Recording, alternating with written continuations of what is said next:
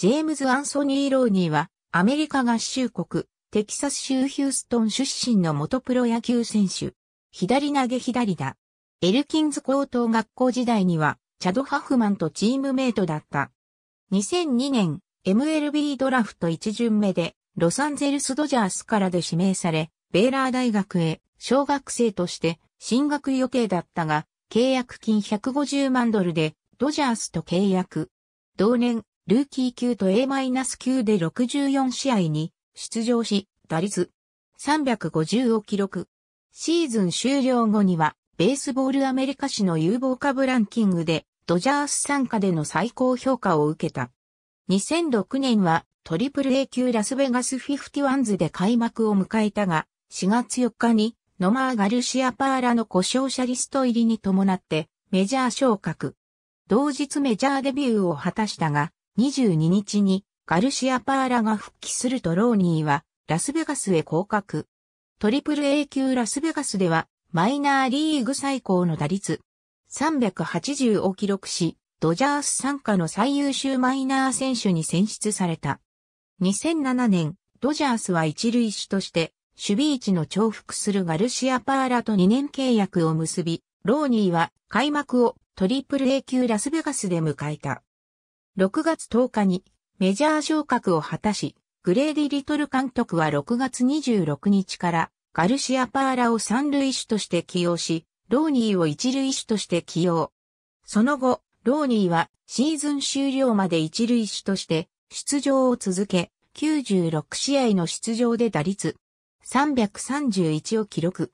9月の月間最優秀新人に選出され、新人王の投票では6位に入った。2008年は開幕から15試合連続安打と好調なスタート。開幕からの連続安打では、球団史上1978年にスティーブ・ガービーが21試合連続安打を記録して以降最長となった。161試合に出場し、チーム最多の90打点を記録。シカゴカブスとのディビジョンシリーズでは、第1戦でライアン・デンプスターから満塁本塁打を放ち、チームは7対2で勝利。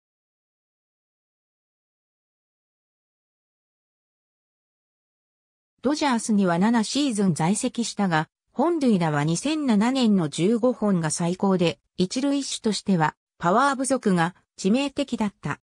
2012年8月25日に、ジョシュ・ベケット、エイドリアン・ゴンザレス、カール・クロフォード、ニック・プント・金銭のトレードで、イバン・デ・ヘスース・ジュニア、アレン・ウェブスター他に選手と共にボストン・レッドソックスへ移籍した。2012年12月6日に、年俸200万ドルと出来高100万ドルの1年契約で、タンパベイレーズに移籍した。2013年は一塁のレギュラーとして158試合に出場。規定打席に到達したシーズンとしては自己最高となる打率299をマーク。本塁打と打点の水準も復調し、2012年の不振から脱却した。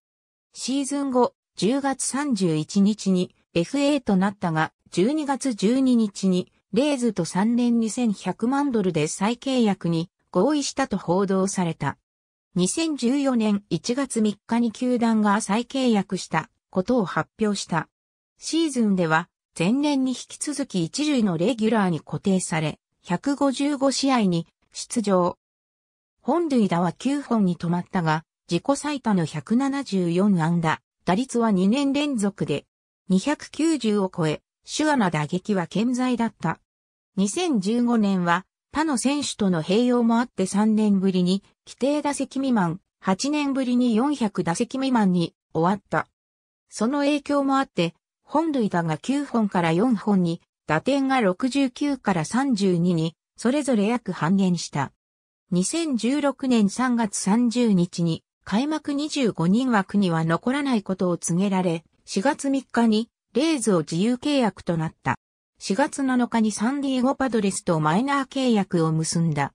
5月28日に、金銭トレードでニューヨークメッツへ移籍した。5月31日にメジャー契約を結び25人枠入りし、同日のシカゴホワイトソックス戦に先発出場した。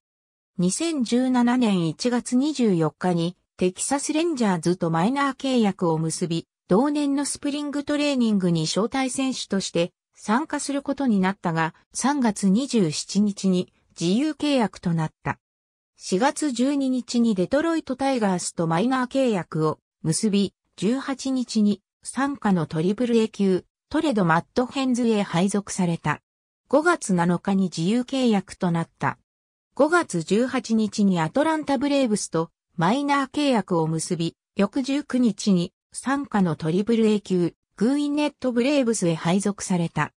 ところが、直後の20日にチームはトレードでセントルイスカージナルスからマット・アダムスを獲得し、GM のジョン・コッポーレラはアダムズが獲得できると分かっていれば、ローニーとは契約しなかったと発言した。これにより、ローニーは契約解除を要求し、22日に了承された。7月18日、不審により退団したルイス・ヒメネスの代役として、韓国プロ野球、LG ツインズと契約した。同年7月27日より1軍で23試合に出場、打率278、22安打、3本塁打、12打点の成績だったが、8月19日からの5試合で2安打と下降線をたどるようになったため、8月25日の試合終了後に2軍降格を通告された。しかし、これを受け入れられず8月27日に韓国を出国したため、LG は久保に任意脱退選手としての工事を要請し、退団することになった。2018年は所属球団なく、2019年2月9日に独立リーグアトランティックリーグのシュガーランド、スキーターズと契約。11試合に出場後、5月7日に現役引退を表明した。ありがとうございます。